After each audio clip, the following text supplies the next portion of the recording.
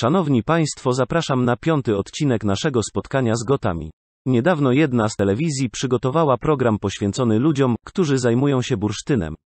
Przedstawieni zostali zawodowi poszukiwacze, amatorzy, rzemieślnicy i eksporterzy. Wszyscy opowiadali o nim z niebywałą pasją. Czy należy się dziwić? Nie, zdecydowanie nie. Bursztyn, sukcynit, jantar to przedziwna, zachwycająca i nadal pełna niespodzianek substancja.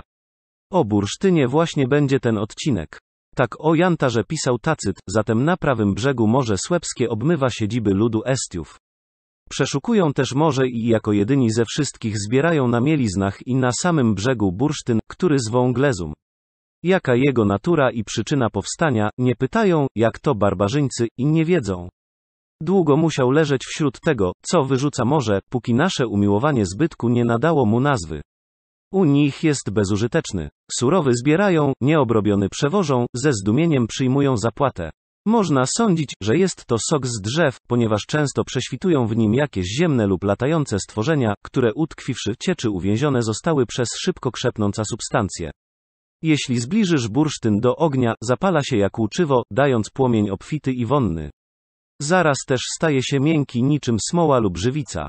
Tłum. Tomasz Płóciennik bursztyn jest żywicą kopalną pochodzącą z drzew iglastych, sosna bursztynodajna, Pinus sucinifera, sprzed co najmniej 40 milionów lat i występuje na wielu terenach Europy, południowe wybrzeże Bałtyku, stepy nadczarnomorskie, południowa Italia, Afryki, Liban, Azji, Birma, jak też Ameryki Południowej.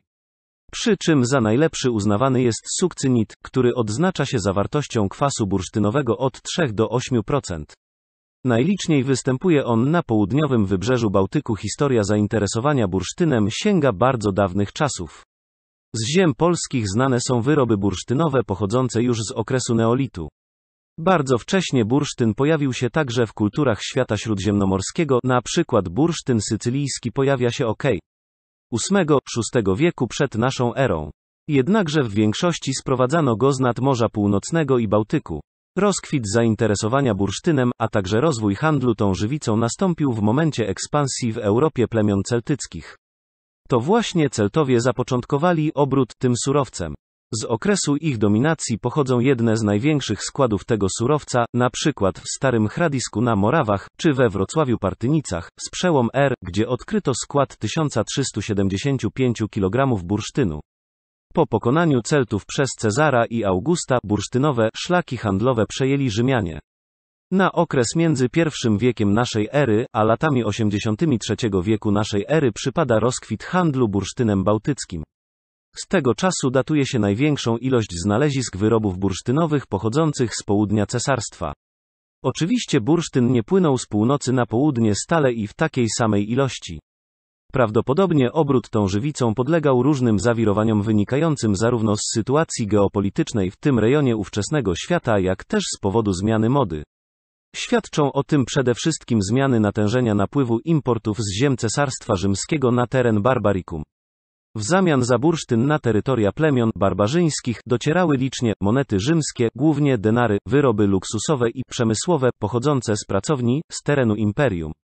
Wśród najczęściej spotykanych należy wymienić między innymi naczynia szklane, brązowe i srebrne, gliniane naczynia typu terra sigillata, paciorki szklane, ozdoby, czasami też broń. Załamanie handlu bursztynem bałtyckim nastąpiło w drugiej połowie III wieku naszej ery. Fakt ten wiązał się z wojnami na terenie Barbaricum, licznymi najazdami plemion barbarzyńskich, jak też z kryzysem wewnętrznym cesarstwa. Ponownie bursztyn powraca na rynki Cesarstwa Rzymskiego na przełomie III i IV wieku naszej ery.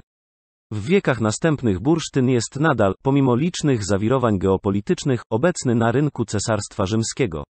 Przy czym należy zauważyć, że nie jest on już głównym towarem importowanym z północy. Prawdopodobnie został on wyparty przez futra i niewolników. Koniec części.